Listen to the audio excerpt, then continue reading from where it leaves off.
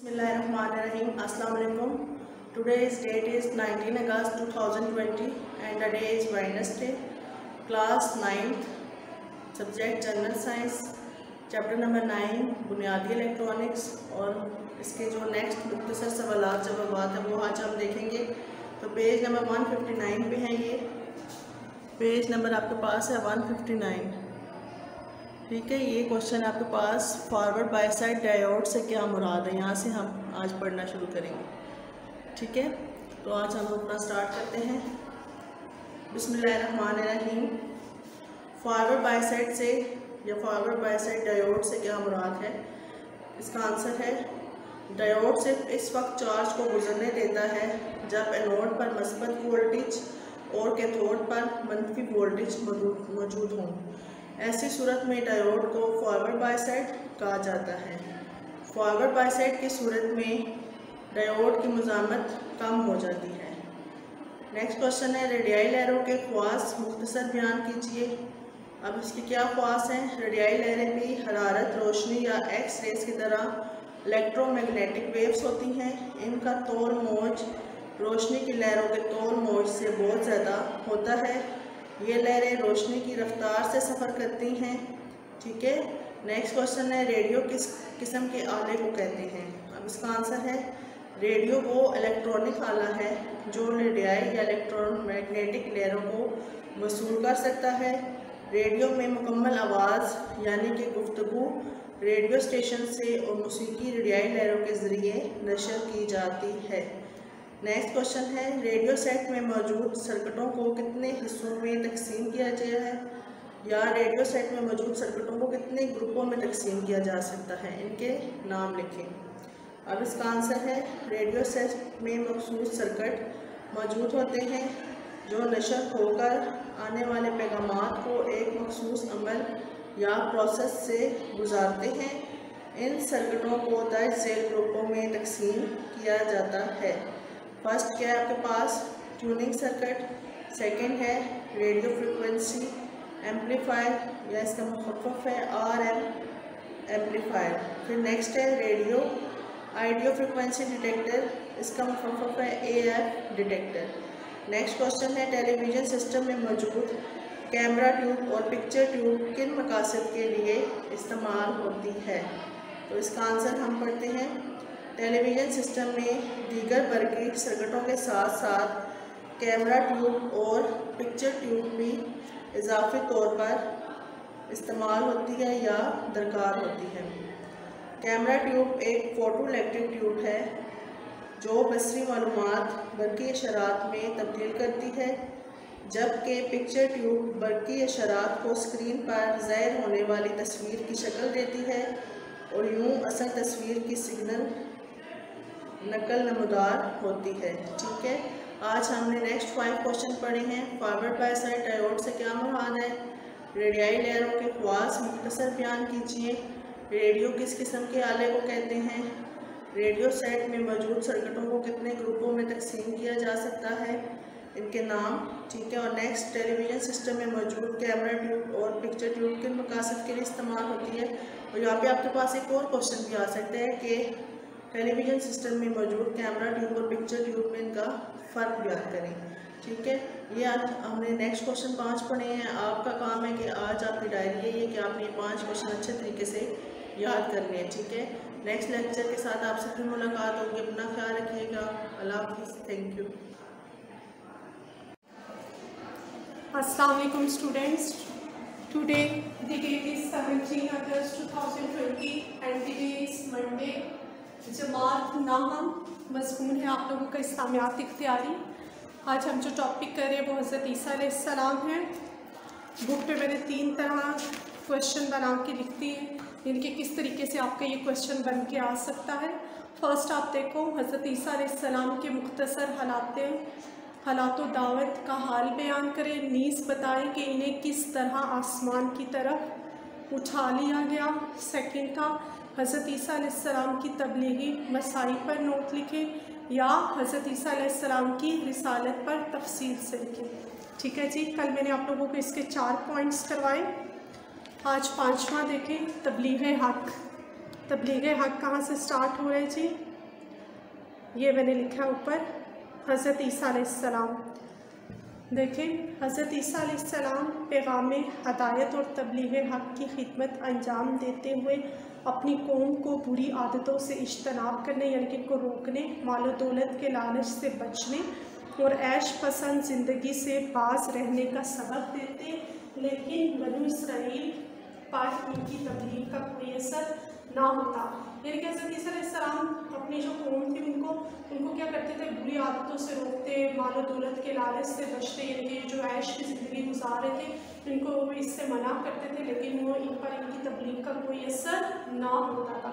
Second देखें बनी Israel की सरकशी।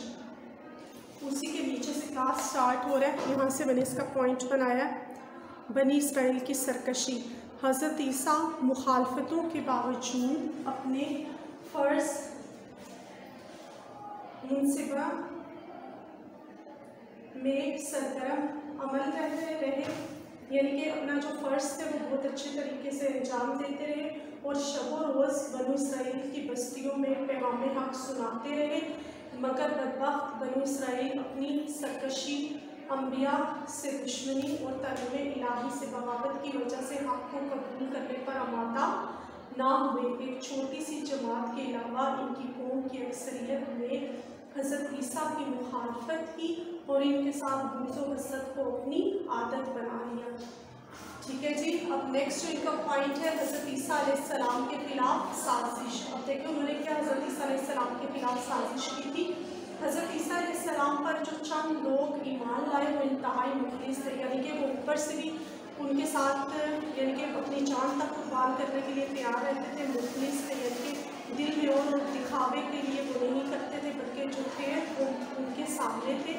हज़रत ईसीम पर जो चंद लोग ईमान लाए, वो इंतहाई मुखलिस और चालीस साल के ऊपर जाती कुर्बान करते थे कुरान अज़ीज़ ने इन लोगों को हवारी और इंसानिया कहा है। क्लास आप लोगों का शॉर्ट क्वेश्चन भी बन के आ सकता है कि हज़रत ईसीम पर जो लोग ईमान लाए, उनको कुरान ने क्या लकब दिया? तो उनको कुरान ने क्या लकब दिया है? हवारी और इंसान इंसानिया हज़रत ईसा ने ना शादी की, ना इनके अहलो अयाल थे। वो शहर शहर गाँव गाँव पे हमें हक सुनाते, और इनकी मुकदस ज़ात से के खुदा की जिसमानी और रूहानी दोनों तरह की शफायाबी थी।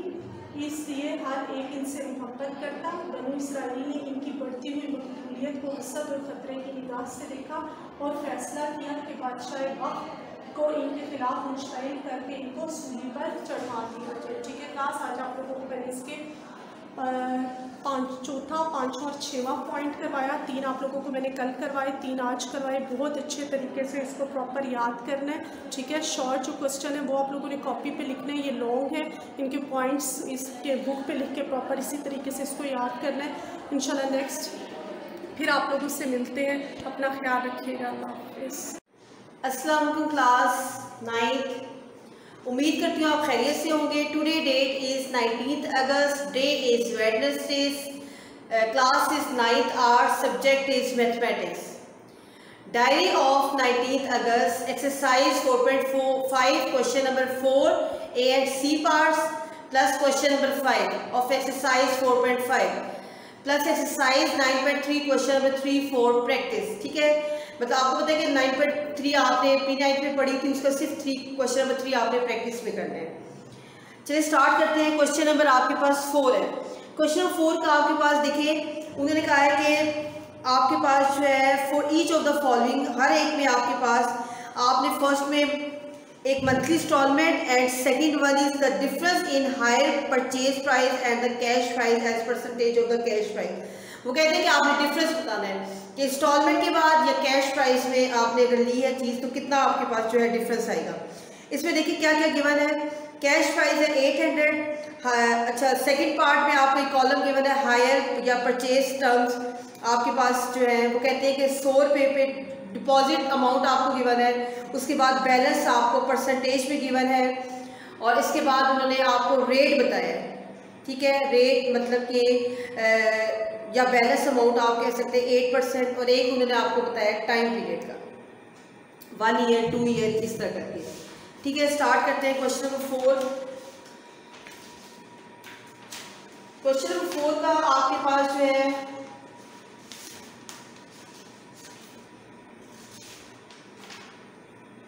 ए पार्ट है, आपसे कहा गया कैश पेमेंट कोई भी चीज़ आपके पास उसकी कैश पेमेंट आपको बता दी है रुपीज़ एट हंड्रेड रुपीज़ है।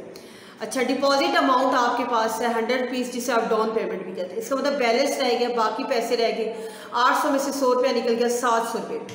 रेट ऑफ़ मार्कअप ठीक है? मतलब रेट आपको गिवन है मार्कअप मतलब जो प्रॉफिट हुआ है, उसका एट परसेंट टाइम है, एक साल का मार्कअप हमने निकाले principal multiply rate multiply time divides by hundred सारी वैल्यूज़ पुट करने के बाद रुपीज़ फिफ्टी सिक्स आ गया। अमाउंट पेड बाय इंस्टॉलमेंट इसका मतलब इंस्टॉलमेंट के बाद उसने पेमेंट पे की। सात सौ रुपया उसका बैलेंस अमाउंट था प्लस उसके पास जो उसका प्रॉफिट उसको हुआ है शॉपकीपर को seven hundred and fifty six rupees time अगर एक साल का है और ट्वेल्व मंथ्स का है, ठीक है? इसका मतलब एक साल में वो पेमेंट उसने कंप्लीट करनी है तो मंथली इंस्टॉलमेंट की अगर उन्होंने डिमांड किया तो मंथली इंस्टॉलमेंट का मतलब है कि इस अमाउंट को आपने ट्वेल्व से डिवाइड करना है तो रुपीज़ सिक्सटी थ्री आ जाएगा.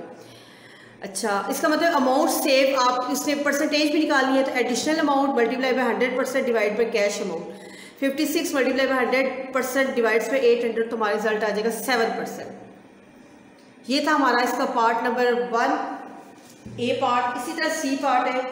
एक कैश प्राइस गिवन है ट्वेल्व हंड्रेड कैश और डिपॉजिट अमाउंट आप कह सकते हैं दो सौ रुपया. तो बारह में से दो सौ अगर से पे कर दें तो आपके पास थाउज़ेंड रुपीज़ रहेंगे.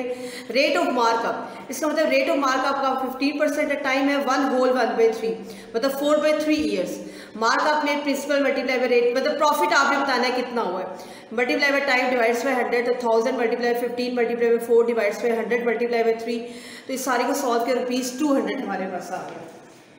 अच्छा अब हमने बताना है कि अमाउंट इंस्टॉलमेंट में टोटल मिला के उसने कितनी इंस्टॉलमेंट मतलब पे की। थाउज़ेंड रुपीज़ वो टू हंड्रेड दिए तो ट्वेल्व हंड्रेड रुपीज़ टाइम था फोर बाई थ्री ईयर्स या आप इसे कह सकते हैं सिक्सटीन मंथ सोलह महीने उसने पे किए इसका मतलब है कि मंथली इंस्टॉलमेंट उसने पे की है बारह सौ रुपये को सिक्सटीन से डिवाइड कर देते सेवेंटी फाइव रुपीज़ इसी सेवेंटी फाइव के अकॉर्डिंग आपने अब जो एडिशनल अमाउंट की आपने परसेंटेज निकालनी है तो मार्कअप जो है two hundred multiply by hundred percent divide by twelve hundred तो आपके पास रिज़ल्ट आएगा फिफ्टी बाई थ्री परसेंट जिससे आप sixteen whole two by three percent लिख सकते हैं.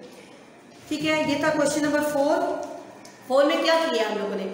उन्हें एक चीज़ थी, उसकी प्राइस दी थी, फिर उसके बाद उन्हें डिपॉजिट अमाउंट बताई थी रेट बताया था। उस रेट के ज़रिए हमने बता दिया है कि मार्कअप या प्रॉफिट इतना मतलब रेट्स के ज़रिए आपने मार्कअप निकाला। मार्कअप मीन्स के प्रॉफिट निकाला। प्रॉफिट मीन्स कि ये शॉपकीपर का प्रॉफिट है। जो या शॉपकीपर का प्रॉफिट है और जो कस्टमर है, उसकी एडिशनल अमाउंट है वो। अच्छा क्वेश्चन नंबर फाइव है आपके पास। ये इस एक्सरसाइज का लास्ट क्वेश्चन है। फाइव में आपके पास है कि एक कंप्यूटर है पैकेज में थर्टी टू हंड्रेड रुपी का डाउन पेमेंट है फिफ्टीन परसेंट आप देखिए, उसकी क्वेश्चन नंबर फाइव एक मतलब कैश प्राइस कंप्यूटर की है thirty two hundred down payment है fifteen percent of thirty two hundred अभी हमें नहीं पता कि डाउन पेमेंट उसने कितनी की है। ये गिवन है फिफ्टीन परसेंट थर्टी का। कैलकुलेट किया फोर एटी पहले अमाउंट मीन्स के थर्टी टू हंड्रेड में से फोर एटी माइनस किया था टू थाउज़ेंड इसका मतलब है, इसका मतलब है बत्तीस सौ में से वो फिफ्टीन परसेंट पे कर किया फोर तो माइनस किया टू रेट आपको गिवन है nine nine point five percent ही रहने दें या इसको nineteen by ninety five by ten करें और परसेंटेज का साइन एज इट इज़ है। तो आप नाइन पॉइंट फाइव परसेंट अगर आप इसको पुट करेंगे मार्क आपके फार्मूले में कोई इशू नहीं आप पुट कर सकते। टाइम है ट्वेंटी फोर मंथ्स का और आपको पता है कि हम फार्मूले में in terms of year put करते हैं तो इसको टू ईयर्स में चेंज करेंगे। मार्क अप है principal multiply by rate multiply by time divides by hundred अच्छा वैल्यूज़ पुट की हमने सेवन हंड्रेड ट्वेंटी रेट इस अब रेट को आपने नाइनटीन बाई टू में चेंज किया तो नाइनटीन ये और टू आपके पास ये। टाइम पीरियड टू है और ये फॉर्मूले का हंड्रेड टू ठीक है? सारे को सॉल्व किया, हमारे पास रिज़ल्ट आ गया।